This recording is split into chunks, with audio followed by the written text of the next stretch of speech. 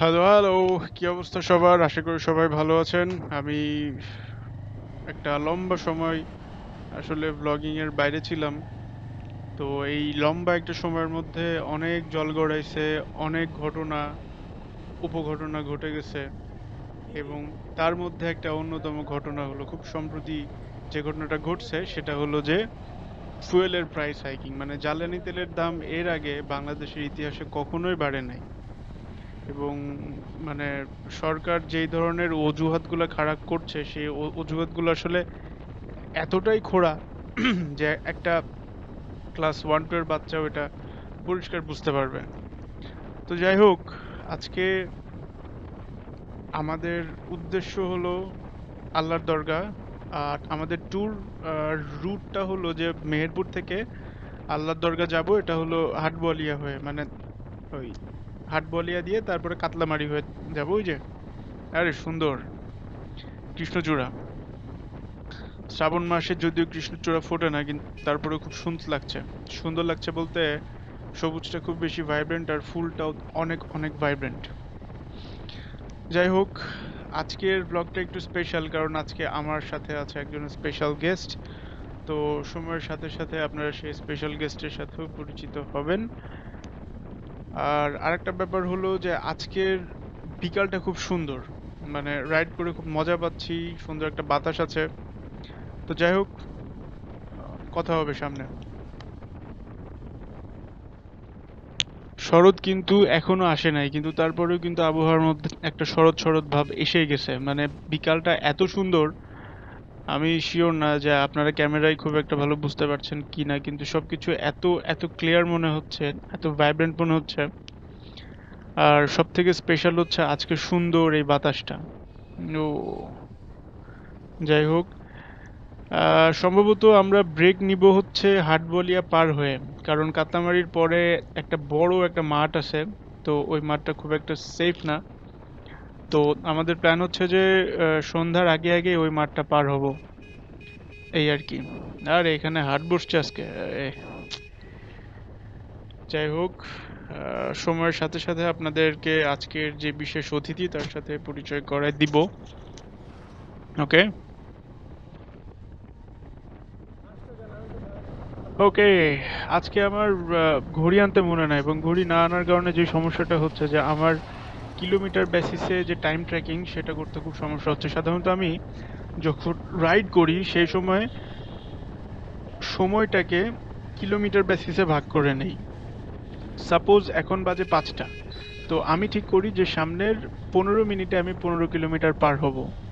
তো সেই ক্ষেত্রে এই টাইম ট্র্যাকিংটা খুবই হেল্পফুল হয় এবং ফোকাসটাও খুব ভালো পাই।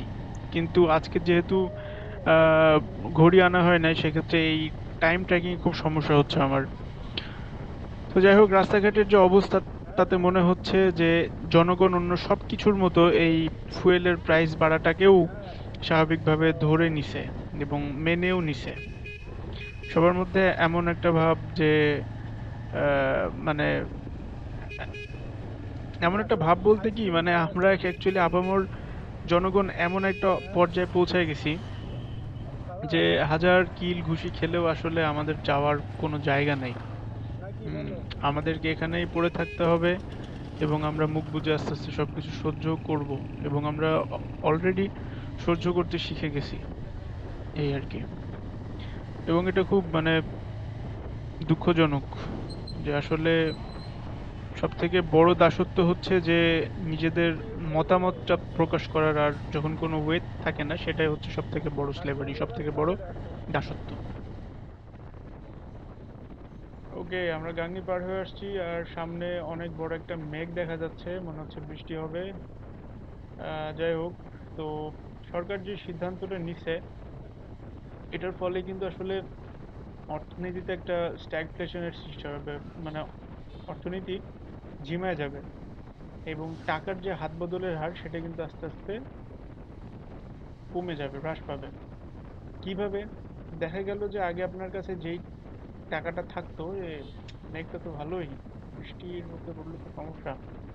যাই হোক, আগে দেখা গেল যে আপনার কাছে একশো টাকা থাকতো, আপনি নব্বই টাকা দিয়ে ফুয়েল কেনার পরে যেই দশ টাকাটা থাকতো, সেই টাকাটা দিয়ে আপনি অন্যান্য জিনিসপত্র কিনতেন বা সাপোজ বিস্কিট কিনতেন। এখন আপনাকে ওই একশো টাকার পুরো টাকাটাই কিন্তু ফুয়েল কিনতে হচ্ছে। উম, এবং যেই লোকটা বিস্কুট বিক্রি করতো বা ফ্যাক্টরির মালিক সেই বিস্কিট ফ্যাক্টরির মালিক কিন্তু আস্তে আস্তে কর্মী ছাঁটাই করা শুরু করবে যেহেতু তার বিস্কিট খুব একটা বিক্রি হচ্ছে না।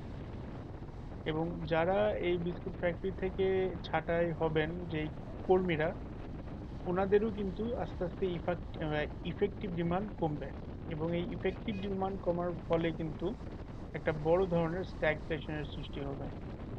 এবং এটা খুব বড় একটা বাজে সাইন অর্থনীতির জন্য যে আহ, খুব শীঘ্রই অর্থনীতিতে রিসেশন শুরু হতে যাচ্ছে। ও মেঘটা তো আস্তে আস্তে বড় হতে যাচ্ছে এবং এই এই অবস্থা থাকলে তো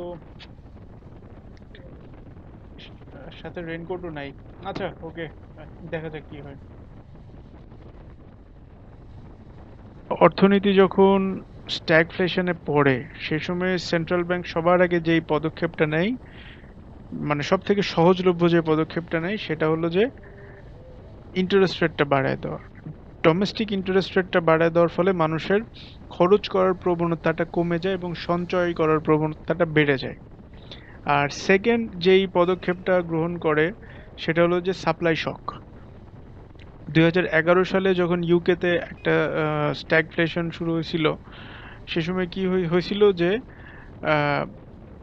ইউকের যে সেন্ট্রাল ব্যাংক সে সাপ্লাই শক মানে সাপ্লাই বাড়ানোর মাধ্যমে মানে জিনিসপত্রের সাপ্লাই বাড়ানোর মাধ্যমে রিসিশনটাকে বা যেই ইনফ্লেশনটা হচ্ছিল মুদ্রার বা সেই সময়কার যে, মুদ্রার যে অবমূল্যায়ন হচ্ছিল, সেটাকে থামাতে পারছিল। এখন সবথেকে মজার ব্যাপার হলো যে মোস্ট অফ দ্য সময় স্ট্যাগফ্লেশন হয়েছে শুধুমাত্র তেলের প্রাইস বাড়ার কারণে। উনিশশো সত্তর সালেও কিন্তু এই জিনিসটা হয়েছে যে ওই ওপেকের যেই দেশগুলো আছে, ওরা সবাই মিলে একজোট হয়ে সে সময়কার ফুয়েলের প্রাইস বাড়ায় দেয় এবং ফলশ্রুতিতে কিন্তু অনেকগুলা দেশেই আস্তে আস্তে স্ট্যাগফ্লেশন দেখা যায়। এবং যেই দেশের অর্থনীতি যত বেশি ফুয়েল ডিপেন্ডেন্ট সেই দেশের স্ট্যাগফ্লেশনের সম্ভাবনা তত বেশি।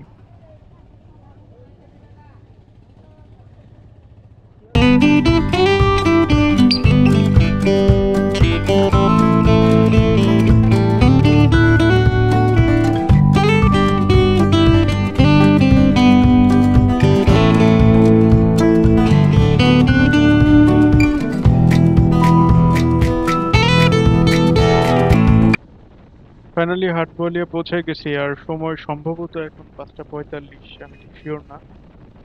তো সামনে একটা বেইলি ব্রিজ আছে, ওই বেইলি ব্রিজটা পার হওয়ার পরে আমরা হয়তো থামবো, কারণ আমাদের আজকের যে গেস্ট ওনার খুব ইচ্ছা হয়েছে যে আজকে ওই গ্রামের হাটে যে বড়াগুলো ভাজে না, সে বড়া খাবে।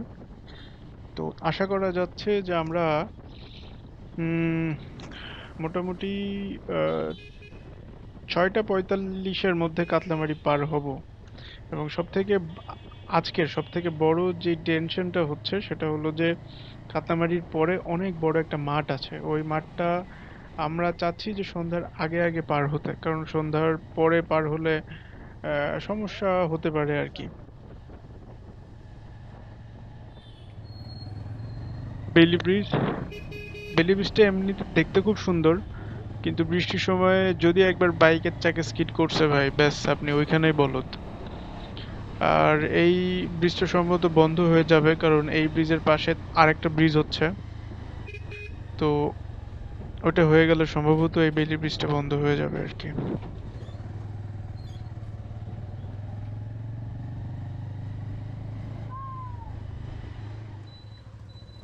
এখানে একটু থামছি, এখানে সম্ভবত বড় ভাবছে।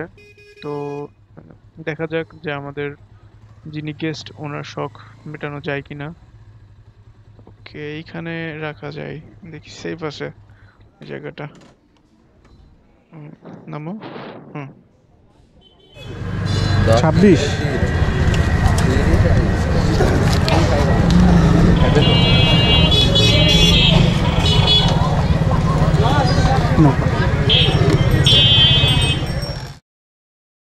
এই যে আজকে আপনাদের গেস্ট আমার ওয়াইফ আজকেই ফার্স্ট আমি আরও এই ব্লগে একসাথে রাইড করছি।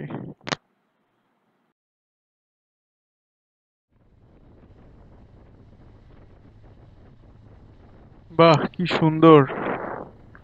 খুবই সুন্দর। মানে সব থেকে বড় ব্যাপারটা হচ্ছে যে, বাতাসটা যেমন ভালো লাগছে, সেরকম বাতাসের কারণে রাইড করতে খুব সমস্যা হচ্ছে। আরে বাতাস।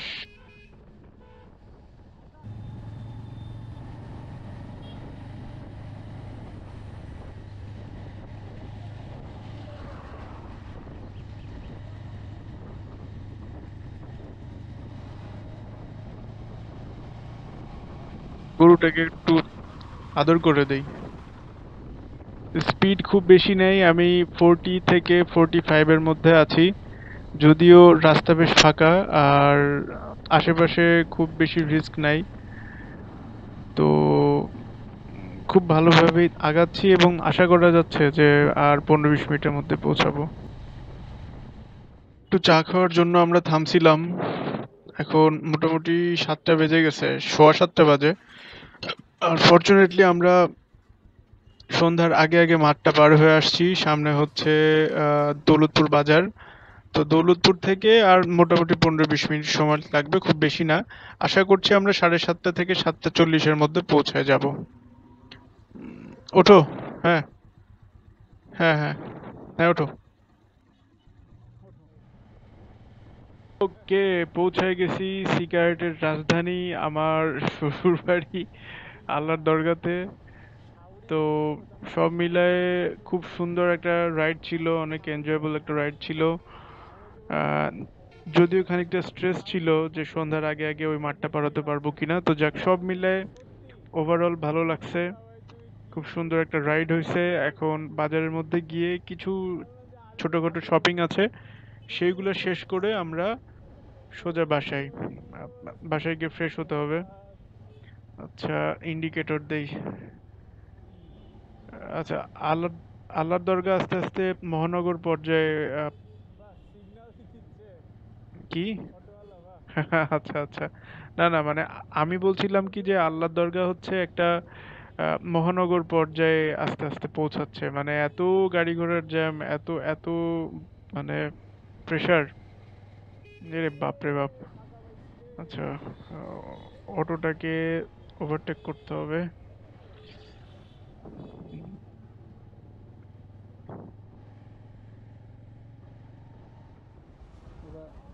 শপিং শেষ করে এখন মোটামুটি বাসার দিকে যাব। আর খুব বেশি হলে মিনিট পাঁচেক। মিনিট পাঁচেক ওনার যদি বাজারের মধ্যে কোনো জ্যাম না পাই সেক্ষেত্রে সোজা বাসায়। উঠে পড়ো। Hmm, okay. Finally home ah finally যাক।